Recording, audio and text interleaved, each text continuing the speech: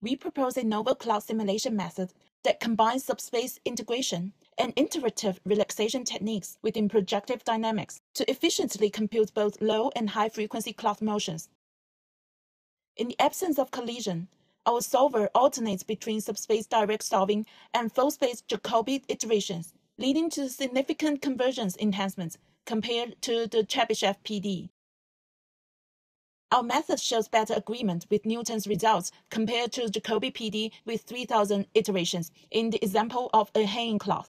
Additionally, our method is more efficient. To handle contact, we use a quadratic proxy to approximate the contact barrier in the PD solve. An extra penetration correction is used to resolve remaining penetrations.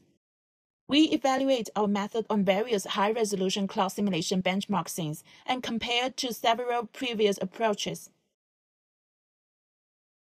A square cloth is dropped onto a sphere above the ground. Persistent contact results in numerous intricate wrinkles. Two curved ribbons are initially intertwined and then pulled in opposite directions to form a knot.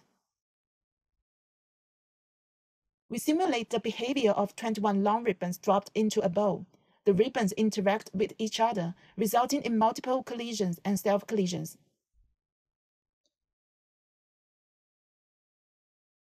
In this example, three pieces of cloth are released onto a shallow funnel.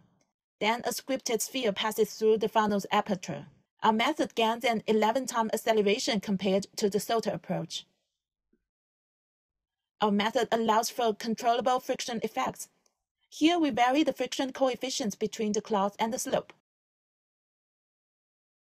Fine detailed garment simulations play a crucial role in the animation industry. We simulate a character that turns and kicks wearing a multi-layer dress.